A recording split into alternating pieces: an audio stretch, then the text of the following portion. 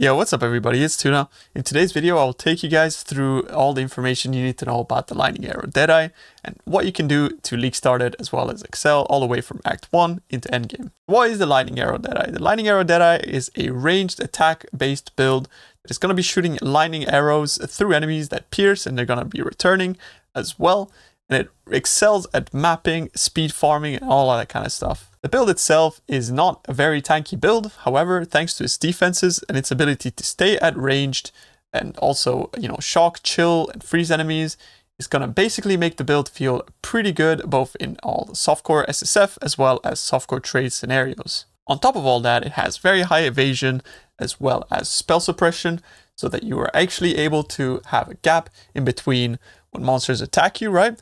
So you're able to recover your HP through instant leech life gain on hit in order, you know, to stay top top and alive. Some of his strengths and weaknesses include it being a fast mapper, it's very easy to level, very easy to gear in the early game, can be played in SSF, and is a ranged playstyle. However, its cons include being a poor bosser, it is not hardcore viable, and on the very high end, the build is very expensive because of, you know, certain items being sought after. For example, plus two arrow bows, plus one arrow quivers, and in some situation, Hyrri's Ire is a fairly, fairly rare item that many people are going to gonna get their hands on. This build excels at farming legions as well as any in-map mechanic. So if you wish to actually take on those types of content, then the Lightning Arrow League Starter is by far the best one you can choose, as you'll be able to, you know, on very, very basic gear, start farming legions and you can find all of those guides here in the Maxroll tool and it's something that as well I'm really proud to introduce to you guys because we've been working really hard on getting this tool to you guys and I'll sort of talk you through how to work through the tool as well as you know the guide itself as we go through this build guide. So let's talk a little bit about the offensive and defensive scaling of the build. Since we are an elemental attack damage build, we want to be stacking fire, lightning, and cold damage on uh, our bow as well as all of our items. We gain benefit of increased attack speed, projectile damage, attack damage, and we need accuracy in order to hit our enemies. Once we enter mid-game and we are able to swap onto critical strike, we want to get as much critical strike chance and multiplier as possible as well as, you know, all other generic increases that we get and frenzy charges and all that kind of good stuff. We are using auras to further amplify our damage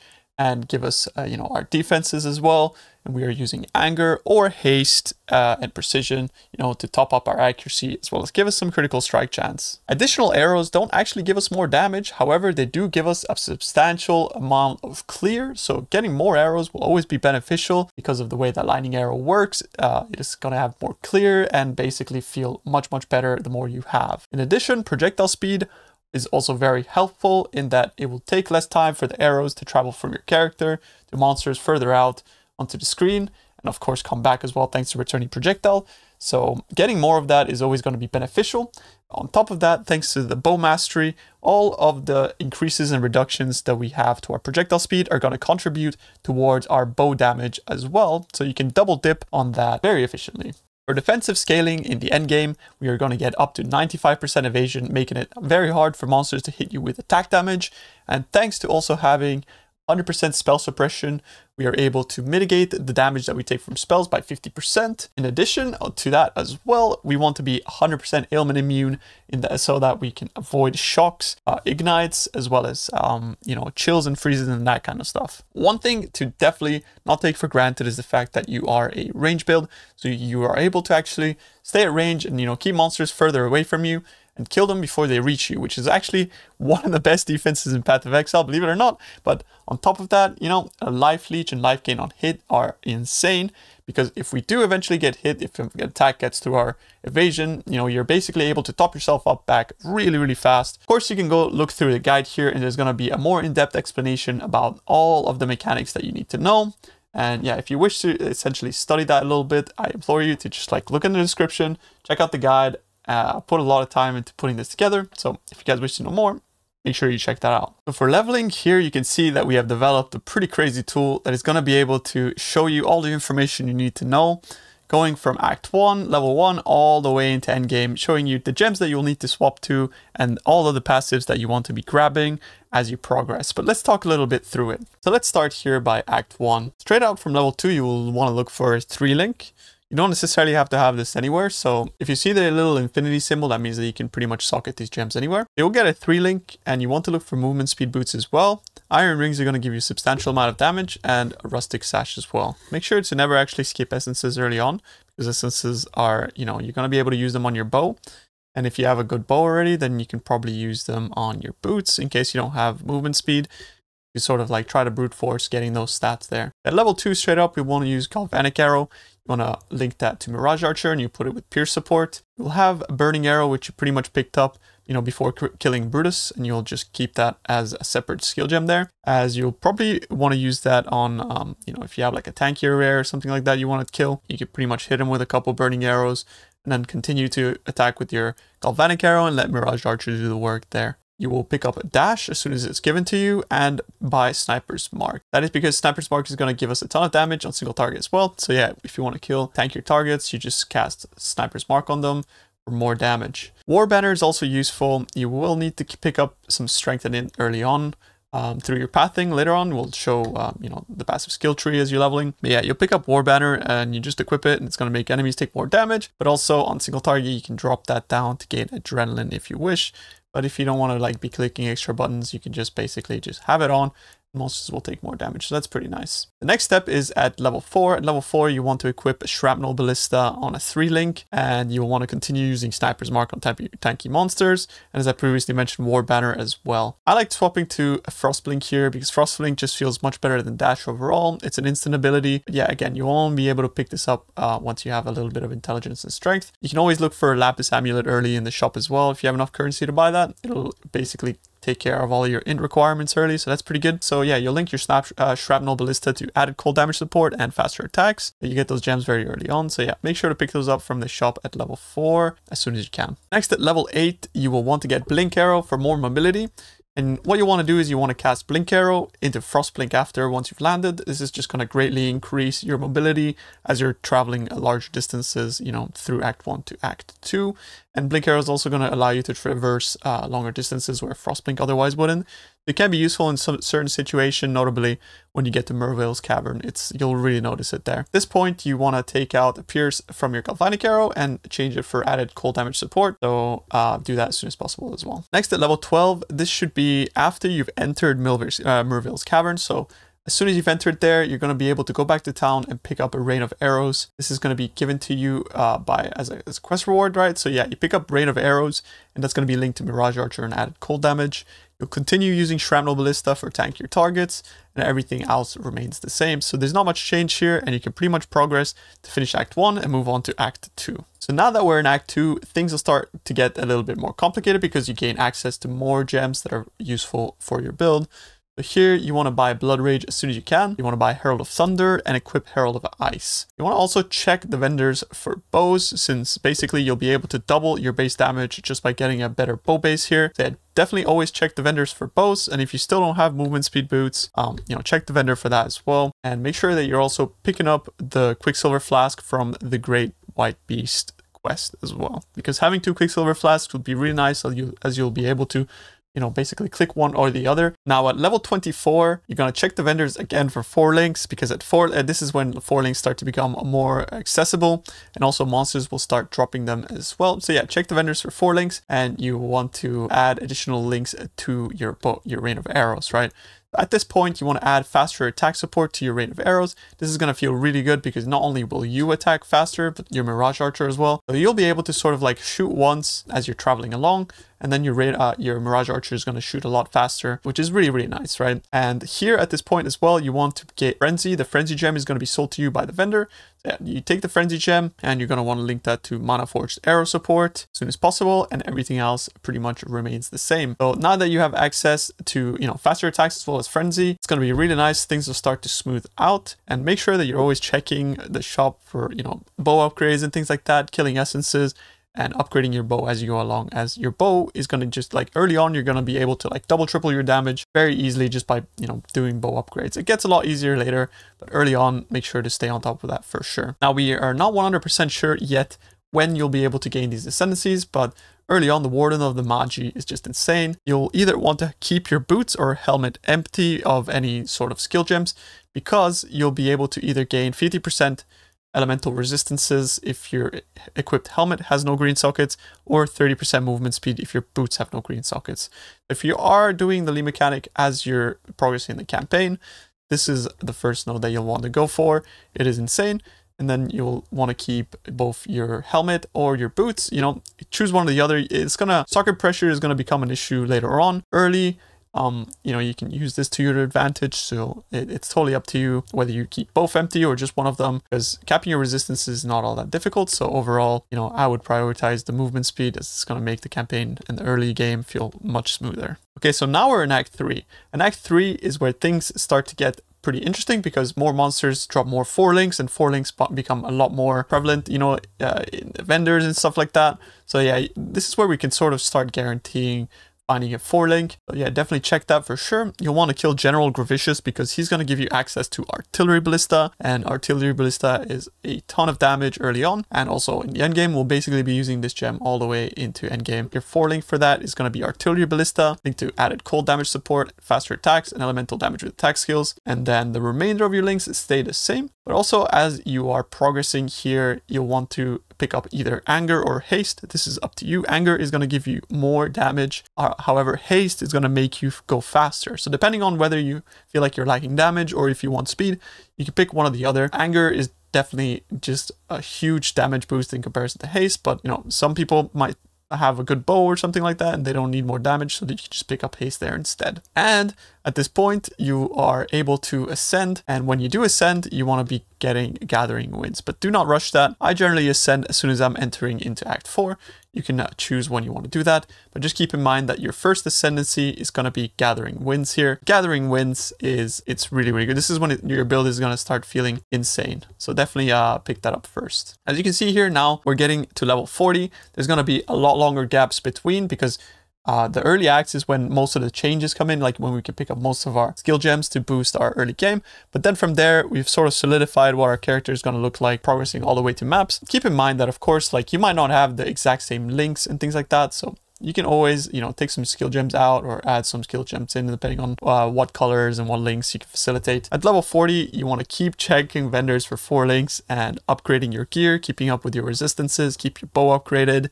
And the next step would also be to ascend and get a long shot. A long shot is going to be uh, a substantial amount of damage and this is when you are kind of wanting to start thinking about your positioning because long shot gives you a ton more damage uh, depending on how distant you are from the target you're trying to kill. Now at level 68 or a little bit before even is when you should be finishing the campaign and is when you want to ascend to endless munition which gives you two additional projectiles and this is when I like to swap to lightning arrow because at this point you'll have enough projectiles to where lightning arrow feels good you know, in combination with the projectiles you have on the tree, as well as endless munition, it's gonna have a total of five projectiles and you feel pretty nice just swapping the lightning arrow that way. Your links will be lightning arrow, linked to mirage archer, added cold damage, and trinity support at this point. Trinity support might be a tricky one depending on what type of damage you have on your bow. Um, so if your trinity is not proccing, so if you see at the top left of your screen the bars are not all fully lit up, you can just swap that to elemental damage with attack skills for now until you have more balanced sort of numbers of um, you know flat damage. And you can read a little bit more about Trinity and how it works in the Maxroll Guide.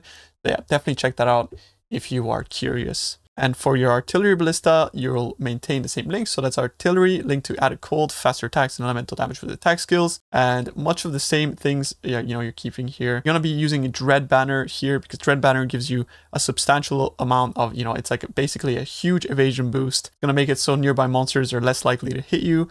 So it's going to feel very nice. And as you have like enough mana to reserve all that, it's no problem whatsoever. Definitely pick that up. And also on top of that, we get access to mark on hit and sniper's mark. You want to link mark on hit to sniper's mark to fully automate all that stuff. Now at level 75, this is when you really want to try to get to five link as soon as possible. And you want to start finalizing your links as you are getting into sort of, you know, maybe yellow maps or you're progressing through your white maps and stuff like that. If you can get access to a five link, that would be great. And your fifth link is going to be returning projectiles. Returning projectiles is huge. It's going to give you a substantial sort of um, DPS boost as well as a little bit of a clear boost. Essentially, you want to have that as your 5 link, and you're going to be finalizing your links as you see here on screen. You'll want to also uh, equip a guard skill, so that's Immortal Call, link to cast when damage taken, and make sure those are, uh, you know, re relatively low level. I like to keep them around level 5. Yeah, and then we'll have uh, Frenzy, link to Mana Forged Arrow, and Culling Strike. We'll swap the Flame Dash as well. You can also keep Flame Dash at level 1. You don't not necessarily have to level this as it has a very high intelligence requirement. So if you are liking intelligence, you know, keep it keep it lower level. You know, you're not forced to actually level that up. So don't worry about that. Now that we are getting further into the game, we're level 85. You'll want to get a 6 link and you'll want to swap the critical strike as soon as possible.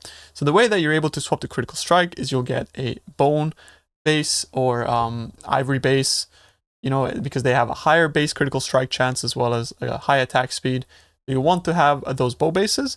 And as soon as you have a bow base, you know, with a decent amount of elemental damage as well as a critical strike chance, you can swap the critical strike and there's going to be the critical strikes variant of the tree uh, on the Maxroll guide as well as the path of building.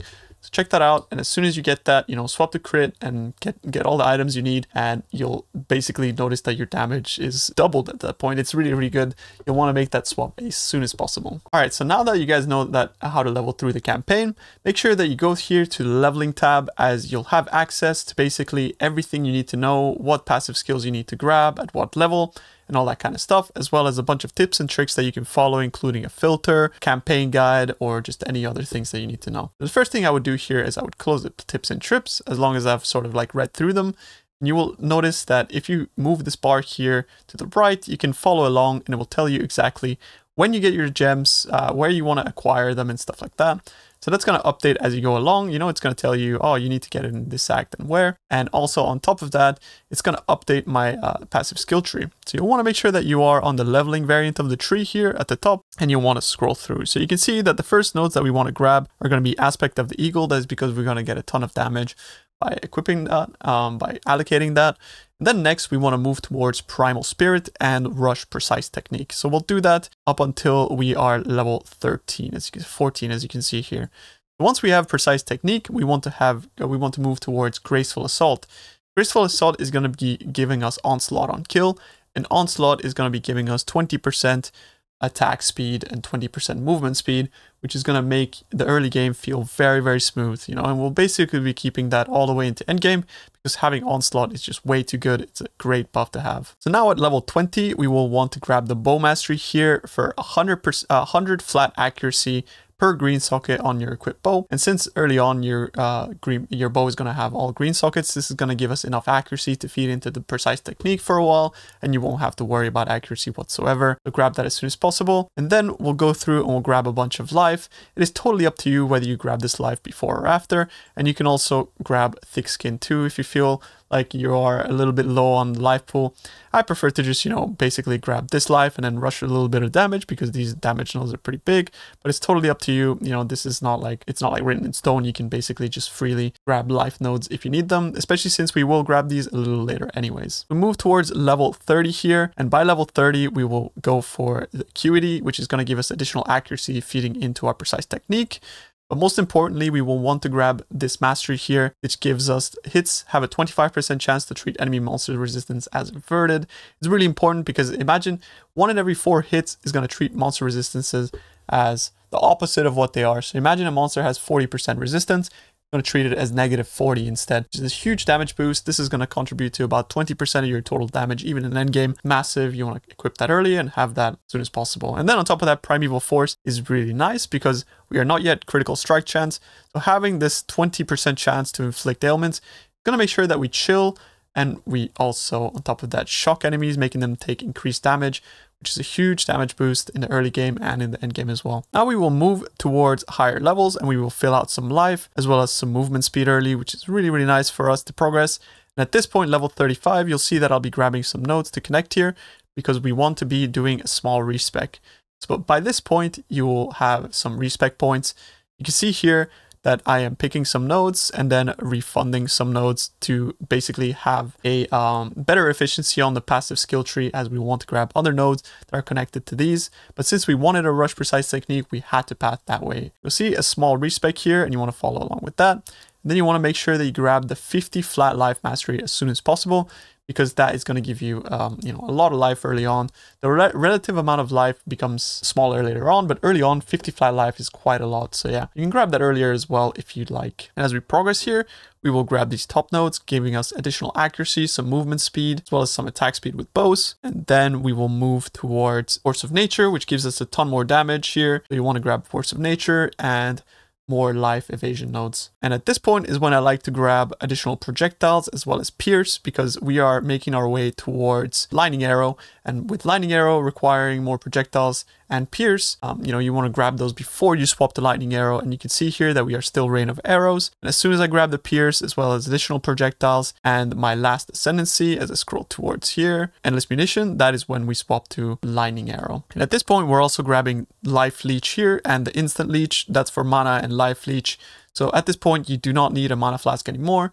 At, uh, up until this point, we were gaining mana on hit because of Primeval Spirit. But now we don't need a mana flask anymore, so we can complete, we can drop that. It is no problem at all anymore. You drop your mana flask and you grab the leech as well as some life here, which is going to give you some life gain on kill. And at level 70, we pretty much uh, finish out where we need to be after the campaign. That is going to work towards charisma. At this point, then you want to move onto the progression tab of the tool. And that is uh, when we click here. And this is where your uh, your you know your entry to endgame is going to start. I am not going to iterate everything that is written in the guide. I'm mostly just going to go through all of the key points that you need to keep in mind and also show you guys how to use this tool because it's pretty damn insane. Uh, the things we've, we've done with this tool, I'm, I'm really impressed and really happy with it. So if at any point you ever want to check the passive tree, you can click this here and you can you can see that it's set to early game. But as you progress through the milestones, you want to go to mid game, uh, which is when you swap the critical strike chance and late game. And remember that you can always, you know, if you're if you are a lower level, you can always use these arrows to sort of take some points away to see what you would do at what level. You know, it, it prioritizes um, certain nodes that you want to have at certain levels. So yeah, early, mid, and late is what you want to swap